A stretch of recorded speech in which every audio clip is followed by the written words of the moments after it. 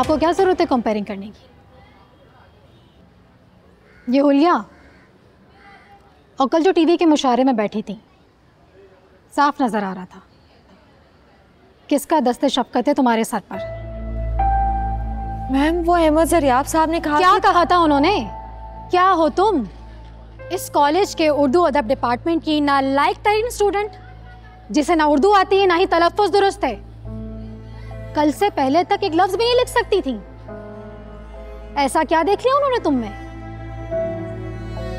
Ma'am उसना sir उठाकर बात करो। सर तब उठता है जब इंसान सच बोल रहा हो।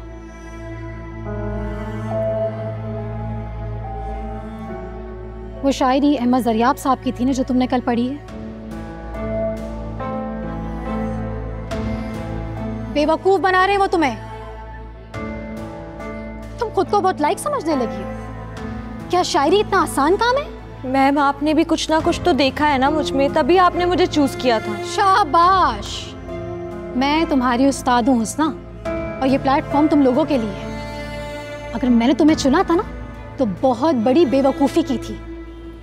हो सकता है उनको मेरा कॉन्फिडेंस अच्छा लगा हो। बेवकूफ़ लड़की जानती हो? किसी की शायरी यूँ अपने नाम से पढ़ देना कितना बड़ा अखलाकी जुर्म है।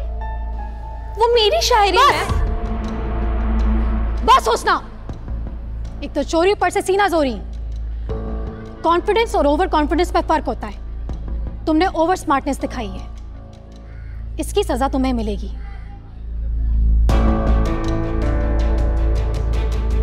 तुम कंपेयरिंग नहीं करोगी। अगर मुशायरा सुनना चाहती हो तो पीछे बैठकर देखो। और ये, मेहंदी वाला ड्रेस उतार के। इस हुलिये में मैं तुम्हें यहाँ बैठने नहीं दूँगी।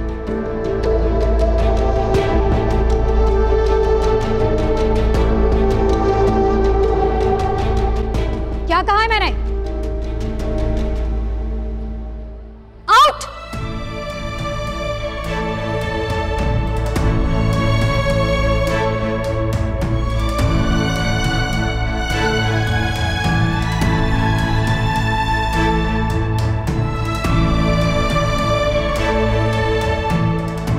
तुम लोग सारे मुँह क्या देख रही हो?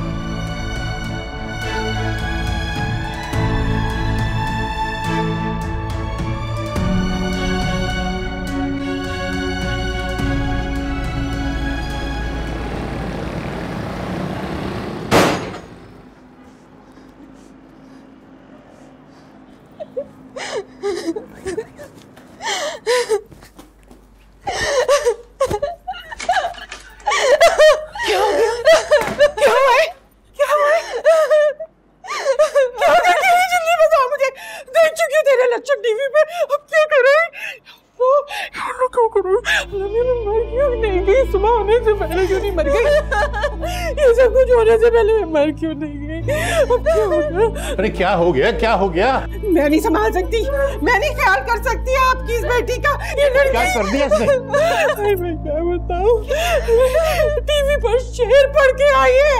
इसलिए रो रही है टीवी पे शेर पढ़ के आई है? पर ये क्यों रो रही है?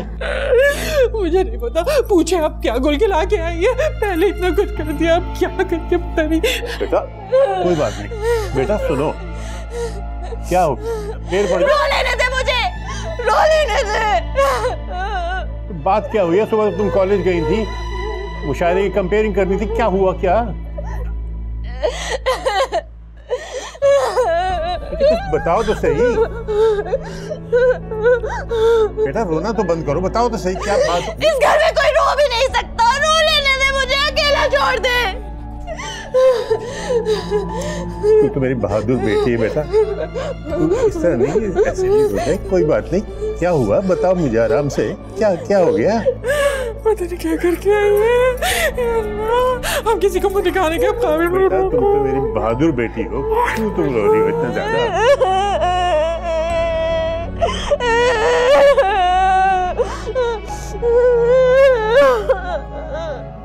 अच्छा ठीक है। रो ले बेटा बाद में बात करेंगे। जब बात आई शायरी की, लतीफ जज्बों के इजहार की तो नाम आए सिर्फ़ अहमद जरियाब का।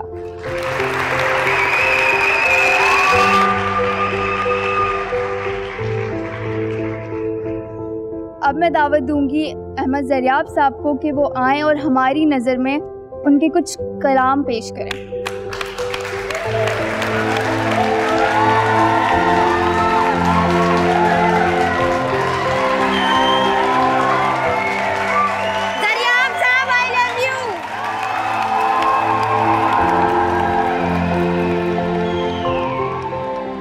Phone number. एक नज्म है।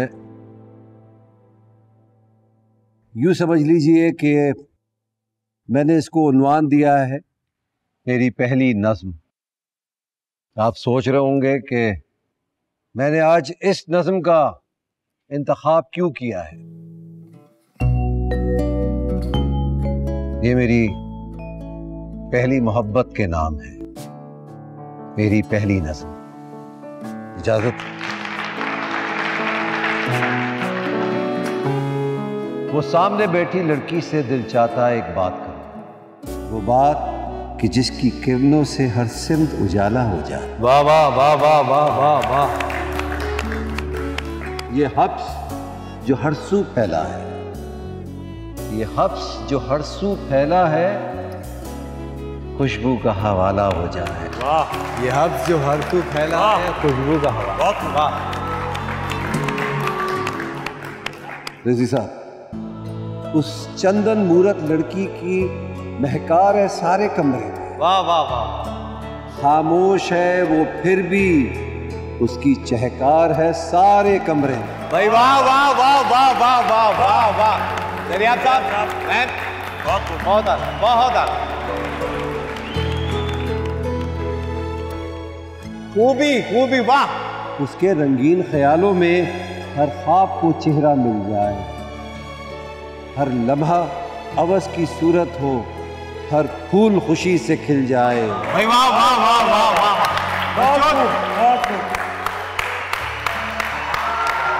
जो ख्वाब है पलकों पे मेरी ताबीर किया जाए कैसे? जो तस्वुर है जहन में मेरे तस्वीर किया जाए कैसे? वाह वाह वाह वाह वाह बाकी कहाँ भाई? अरे भाई सुबह से उनका पेट खराब है। खवातीन के कॉलेज में बाथरूम ढूंढ रहे मिल नहीं रहा। कभी दांत का दर्द कभी पेट का दर्द। अब क्यों ना इस तन्हाई को गुलजार मोहब्बत ही समझूं? उन होठों की खामोशी को इकरार मोहब्बत ही समझूं? उन होठों से जुगनू लेकर रोशन अपने दिन रात करूँ। वो सामने बैठी लड़की से दिल चाहता एक बात करूँ। वाह वाह वाह वाह वाह। वाह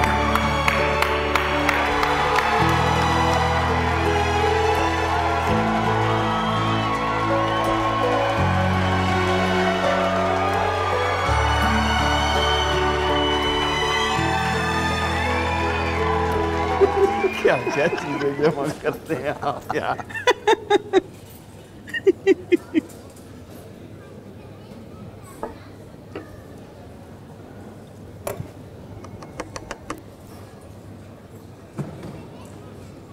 आप इतने बुझे बुझे से क्यों लग रहे हैं? मैं बुझा सा लग रहा हूँ। गलत फहमी है आप वैसे ये गुलाबी चाय आप पर बहुत खिल रही है। मगर बात को जम नहीं रही। मुशायरा भी फीका ही सा था और वो गज़ल ना पढ़ी आपने। भाई कंपेयर साहिबा ने फरमाइश ही नहीं की है ना? हाँ वो लड़की कितनी बोर सी थी ना। कौन थी वो? होगी कोई। हज़ारों लड़कियाँ होती हैं कॉलेज में। छोड़िए इन बातों को। ये बताइए आज शाम आप सब आ रहे हैं ना? आप बुलाएँ और हम ना आए। ऐसे तो हालात नहीं। यूँ भी आपके घर की फ़िश पार्टी का इंतज़ार में तो हम पहाड़ सी गर्मियाँ काटते हैं। वो लड़की थी ना अब क्या नाम था उसका? हुसना हुसैन हुस्नी। वो नज़र नहीं आई?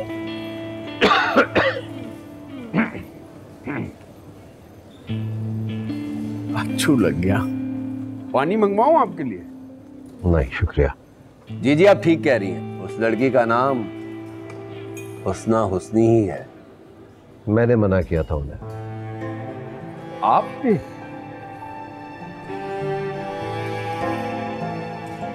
जी। भाई वो नादानी की उम्र में है। उनसे दो मीठे बोल क्या बोल लिए। थोड़ी सी तवज्जो क्या दे दी वो तो कुछ और ही समझ बैठी। दिल से जोड़ जोड़ कर झूठी कहानियाँ अपनी सहेलियों तक पहुँचा दी उन्होंने। अच्छा। और फिर सब ये बातें उनके घर वालों तक पहुँची तो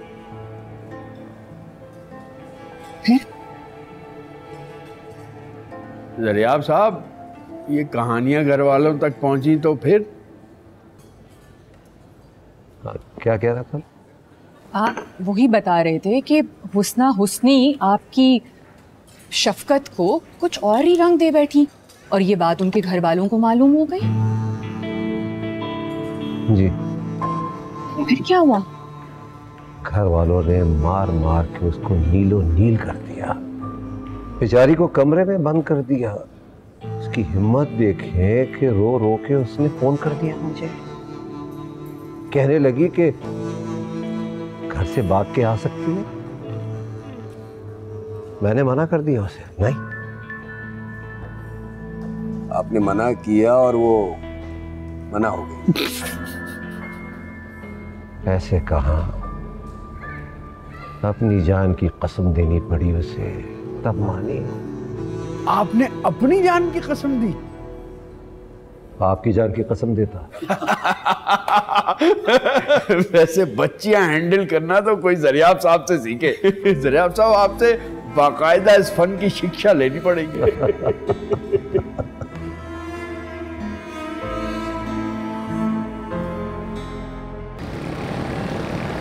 Mummy mummy. हुआ क्या है? गैस करें। नहीं मैं नहीं गैस कर सकती मुझे बताओ। टन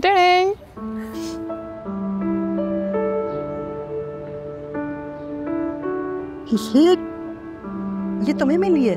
हाँ। लेकिन क्यों? क्योंकि मैंने मुशायरे में कंपेयरिंग की है? क्या? हाँ हाँ। आपको पता है वो मैडम ताबिंदा है ना उन्होंने हुस्ना को टीवी पे देख लिया था। तो उनको इतना गुस्सा चढ़ा इतना गुस्सा चढ़ा और सबके सामने उसकी इतनी बेइज्जती की। और फिर उन्होंने मुझे बुलाया। उन्होंने कहा कि तुम कंपेयरिंग कर लो। तो ताबिंदा ने देख लिया उसे। गुस्सा को छोड़ो। तो मुझे बताओ कैसे कंपेयरिंग की अच्छी? हम्म कर ली। लेकिन अम्मी मुझे हुस्ना के लिए ना दुख हो रहा है। उसकी बहुत बेइज्जती हुई है वहाँ पे सबके सामने। इधर आओ। सो प्राउड ऑफ़ यू जो मैं कहूँगी वो करोगी तुम। मैं चाहती हूँ कि तुम अपने टीचर्स के आगे पीछे फिरो। के साथ डिस्कशंस करो। वो जो कहते हैं उनकी बातें सुनो। तुम्हें टॉप पे देखना चाहती हूँ। करोगी ना?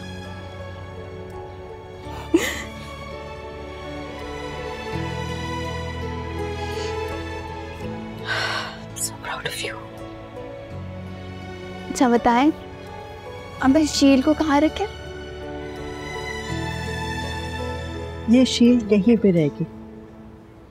वीकेंड पे आएँगे ना तुम्हारे डैड इसको देखेंगे। उनको अंदाज़ा होगा कि अगर उन्होंने मेरे पर ना काटे होते तो आज मैं भी कुछ होती।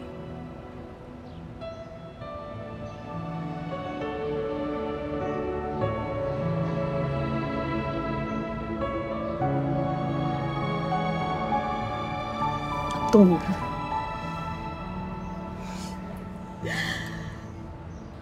वैसे बेटा कह तो तुम्हारी मैडम सही रही है। आखिर तुम कैसे एकदम शायर बन गई अचानक? आपको कुछ पता भी है मेरे बारे में? आप तो कभी मेरे साथ बैठे भी नहीं है। आपको क्या पता कि आपकी बेटी में क्या क्या खूबियाँ हैं? एक कोताही तो हुई है हमसे। लेकिन तुमने कभी सुनाया नहीं अपना कोई शेर? अच्छा शेर सुनाती? अम्मी मेरे सांस लेने पे तो शोर मचा देती है। शेर सुनाती तो पता नहीं क्या करती। अभी मुशायरे की बात पे किस तरह से पूरा घर सर पे उठा रखा है उन्होंने? तो क्या हो रहा था ये? कुछ बताओ तो सही मुझे। क्या है सारा किस्सा? आप मेरी तहमुल से बात सुने तो कुछ बताऊँ ना मैं आपको। तो अहमद जरियाब साहब ने कहा कि आप तो बहुत अच्छी शायरा हैं। आप जैसे लोगों को मौका मिलना चाहिए। आपको टीवी पे मुशायरा पढ़ना चाहिए। जैसे उन्होंने मुझसे ये बात की, मुझे आप लोगों का ख्याल आ गया कि इस घर से तो कॉलेज जाने का इतना मसला ऐसे लगता है कि जैसे जंग के मैदान में जा रही हूँ। क्या करती मैं बताए? इसलिए मैंने लोगों से छुपकर हामी भर ली।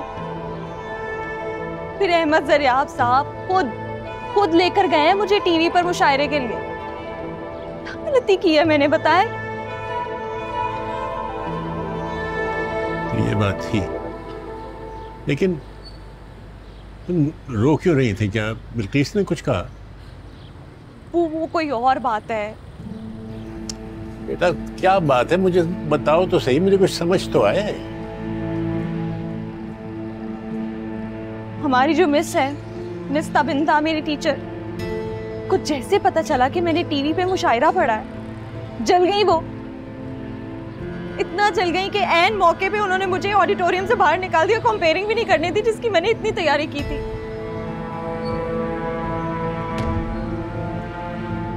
ये तो बड़ी ज्यादती की उन्होंने। सी है वो। जल जाती हैं हम सबसे। खुद तो इतनी बड़ी है। इतना तैयार होके आती हैं। हम थोड़ा सा भी तैयार होते हैं जल जाती हैं। और सिर्फ़ इतना ही नहीं किया वो। मुझे निकालकर मेरी दोस्त जहाँ हरा उसको रख लिया कंपेयरिंग पे।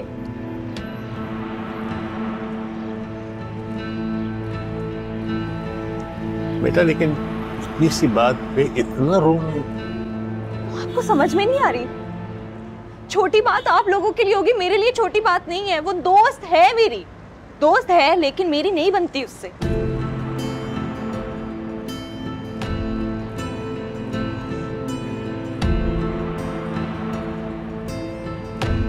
मैं समझ रहा हूँ। जाऊँ मैं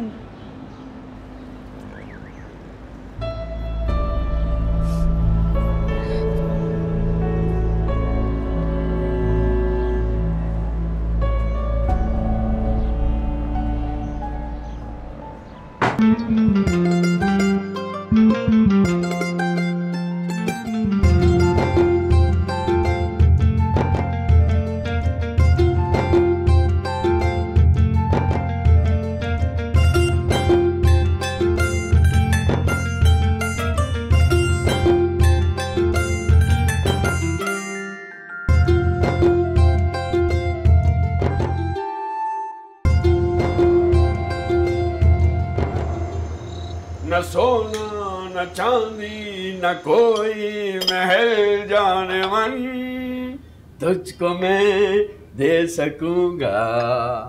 फिर भी ये वादा है तुझसे।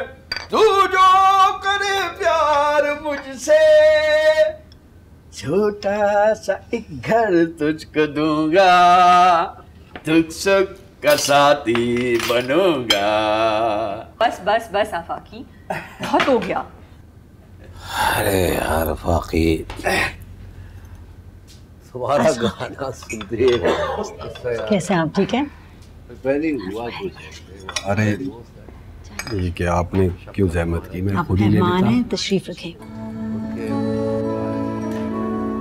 हमारी शक्लें नहीं मेहमानों वाली हम तो बलाए जान है।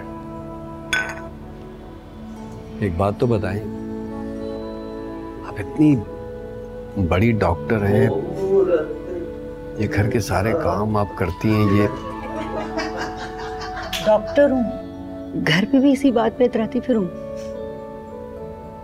और ये तो सब अल्लाह का करम है। आप बताएँ सॉरी शक्कर कितनी लेंगे चाय? नहीं नहीं मैं शक्कर नहीं लेता। आप जाएँ। थैंक यू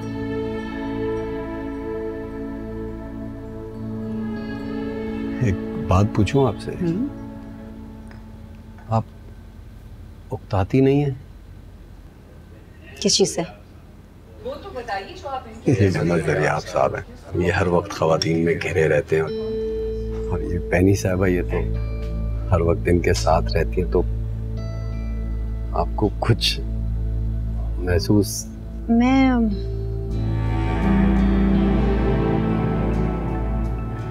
अहमद ज़रिया आपको जो चीज़ अच्छी लगती है वो हर चीज़ मुझे भी अच्छी लगती है। और फिर आप सब तो इनके दोस्त हैं। कितने खुश होते हैं आप लोगों के दरमियान। और इनकी खुशी से इनकी खुशी से ज़्यादा तो कोई चीज़ नहीं ना। वाह। क्या शानदार शानदार सोच। वाह। अरे आपको पता नहीं क्या समझ रही बहुत मखलूक नाम तो होगा फिर भी उनका। नाम कहाँ याद रहते हैं अहमद दरियाब साहब को? यहाँ तो दर्जनों आई और दर्जनों गई अच्छा आफाकी वो आप जो बात पूछ रहे थे वो तो बीच में रह गई। अब वो उन सब के घर तो बर्बाद हुए लेकिन आपकी बेगम तो अब भी यही है। अल्हम्दुलिल्लाह। घर क्यों खराब हुए उन सब के भाई जो शादीशुदा थी उनकी तलाकें हो गई और जो गैर शादीशुदा थी वो सिर्फ़ शुदा रह गई। छोड़ो बाकी क्या बात भाई वो क्या है कि इस दिल में इतनी जगह है बकौल शख्स से? इस दिल में सैकड़ों लोग समा सकते हैं। उन खातन के दिल में मैं एक बार आ गया तो फिर वो कहीं नहीं जा सकती।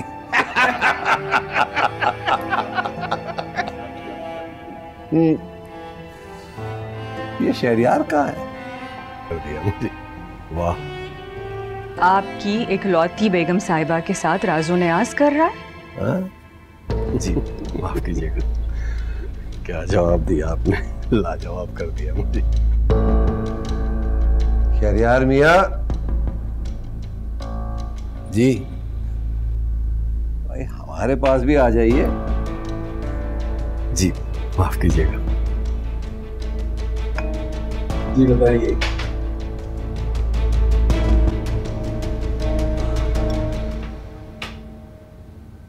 कहा भाई हमारे से मिलने आए हो? कहाँ हो तुम? मैं तो सारी कहानी सुन के हैरान हो गया हूँ। यानी बच्ची से जलती है वो मैडम।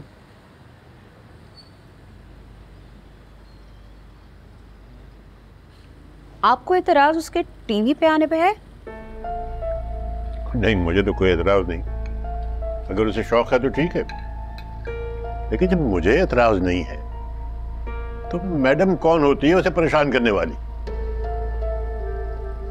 मुझे तो लगा आपको एतराज़ होगा। क्योंकि गुनाह किया उसने? भाई मेरा तो सर फख्र से बुलंद हो गया कि मोहम्मद हुसैन तेरी बेटी को लोग जानते हैं उसकी पहचान बन रही है। तो ये बात है। ठीक है फिर आप टीचर के खिलाफ दरखास्त दें। बल्कि ऐसा करती हूँ मैं कल ही अपने दफ्तर से खुद ही टाइप करवा के ले आती हूँ। जानती हूँ अच्छी तरह इन टीचरों को। काम का बच्चियों की सौकने बन जाती हैं ये। आप बस देखते जाएँ कैसा सीधा करती हूँ मैं। देखो ना उसका रो रो के उसका बुरा हाल हो गया है। एक तो उसके घर का माहौल ऐसा है कि हर चीज़ उसे छुपा के करनी पड़ती है। उस दिन कपड़े छुपा के यहाँ आई थी। हाँ इस घर में तो सबसे बुरी मैं ही तो हूँ। बल्कि तुम तो चुप करो। तुम्हारी आदत बहुत खराब। जो हुसैन भाई कह रहे हैं ना वो सुनो चुप कर काम खा शोर मचाती रहती है सब परेशान होते हैं। जो पूछने की बात है वो तो पूछती नहीं हो तुम। ये पूछा ही नहीं कि इतने महँगे कपड़े खरीदने के पैसे कहाँ से आए?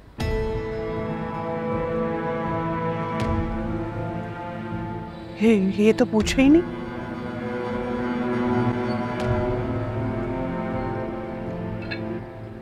मेरे लिए थे पैसे।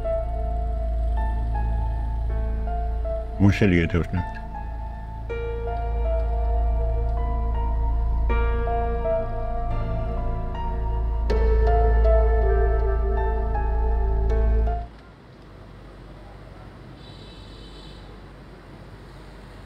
तुमने झूठ क्यों बोला? बस ऐसे ही। बस ऐसे ही? कोई तो वजह होगी। नहीं वो खाला खालू नाराज़ हो रहे थे ना तो इसलिए। बस इसलिए? बस इसलिए।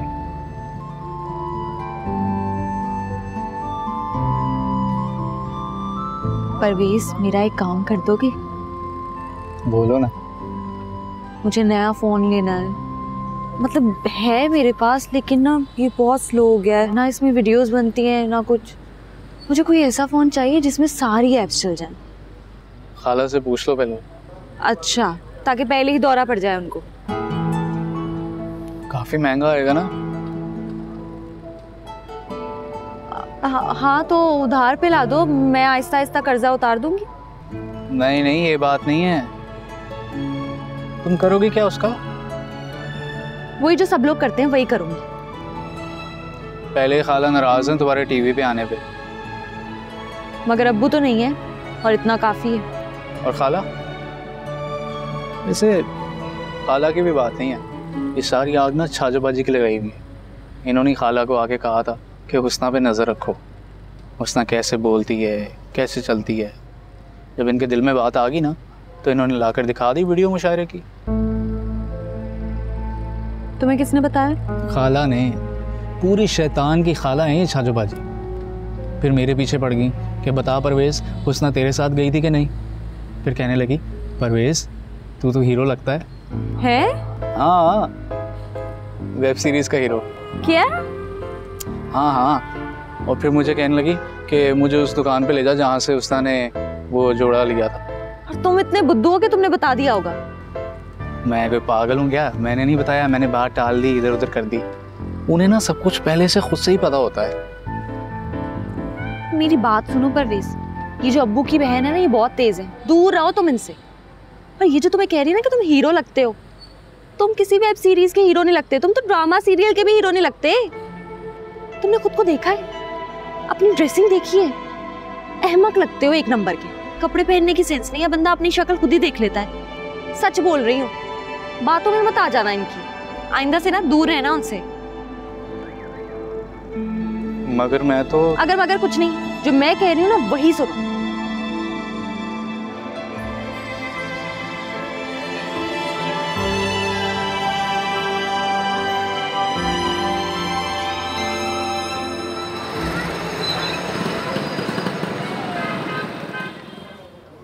और दादा अस्सलाम वालेकुम। क्या बना? सेट हुई तेरी मेहनत खबरदार आइंदा तूने कोई आलतू फालतू आइडिया दिया मुझे क्या हुआ है बताओ तुझे क्या हुआ शिकायत लगाओ तेरे बाप को हैं कि क्या हरकतें करता फिरता इधर बकवास तेरी बंद नहीं होती है जब काम चाहिए होता है तो कहते हैं बेटे को काम लगवा दो काम दिला दो काम दिला दो काम बताओ कि काम में तेरा ध्यान नहीं है चल दफ़ा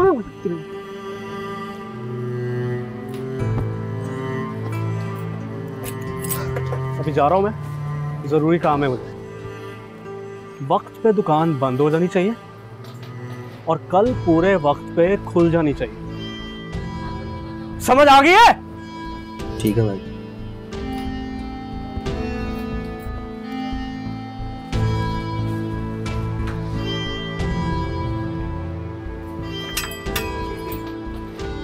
क्या? तुझे क्या ज़रूरत है इनके बीच में पढ़ने की? बड़ा शौक है क्या उछलने का? समझ में नहीं आती फिर। भैया भैया जियो वाला हुलिया क्यों बना के आ गए अच्छे भले तो लग रहे थे वो कपड़े। हाँ, तुम ही तो कह रही थी अच्छे नहीं लग रहे। और फिर छाजोबाजी मेरा मज़ाक बनाएँगी। फ़ोन लाए हो मेरा? ये तो तुम क्यों कह रही थी कि वो कपड़े मुझे बुरे लग रहे हैं? क्या पागल तो नहीं हो गए हो? मैं सवाल कुछ कर रही हूँ जवाब कुछ और दे रहे हो। मैं पूछ रही हूँ फ़ोन लाए हो तुम कपड़ों की बात कर रहे हो। कौन सा सस्ता नशा करके आए हो? नहीं नहीं नहीं तुम कह रही थी ना कि हीरो अच्छी शक्ल का होता है अच्छे कपड़े पहनता है। फिर छाजोबाजी ने भी तो कहा। मेरी बात सुनो परवेज। मुझे ना सब दिख रहा है। और तुम ना मेरी बातों पे ज़्यादा गौर मत किया करो। इतनी अक्ल नहीं है तुम में। और मेरे पास इतना वक्त नहीं है कि मैं तुम्हें देखती रहूँ और तुम्हारे बारे में सोचती रहूँ। तुम ना छाजोबाजी से ही बात किया करो। क्योंकि उनके पास तो और कोई काम नहीं है दूसरों के बारे में सोचने और उनके बारे में बात करने के अलावा। मिस छाजोबाजी। ये भी मिस है। सोकर रह गई है। कहते हैं, सर, यार।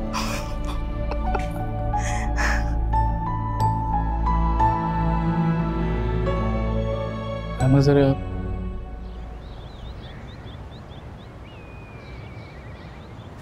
अच्छा गया रात का दिन। हाँ। पर्दे बदलवा लिए थे। बदलवा दिए। और भी बहुत इंतज़ाम थे करने को। हाँ। तो नज़र आ रहा था।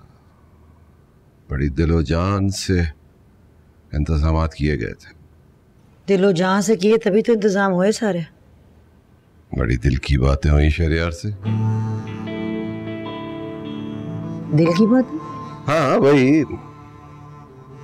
वो तुम दोनों का एक कोने में खड़ा होना वो तुम्हारा चाय पेश करना स्पेशली वो चाय में चीनी मिलाकर जेरे लब मुस्कुराहट के साथ चाय देना। दिल को भा गया था वो लम्हा। वो तुम्हारा मुस्कुराना उसका शुक्रिया अदा करना जो मंजर था ना बड़ा खूबसूरत लग रहा था।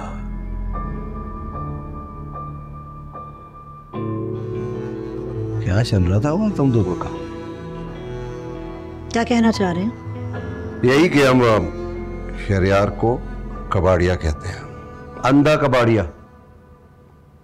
उसे शौक है पुरानी वरानी चीज़ें और उम्र रसीदा औरतों से बात करने का। मुझे देर हो रही है। जब भी मैं कोई पते की बात करता हूँ तो तुम्हें देर होने लगती है। तो को तुम्हें देख लो हाँ हाँ। तो वो शहर है ना बहुत शातिर है वो। उसका पेशा है। वो अमीर और कम शक्ल औरतों को पहला फुसला कर उनसे तहल वसूल करता है। और कुछ नहीं करता वो।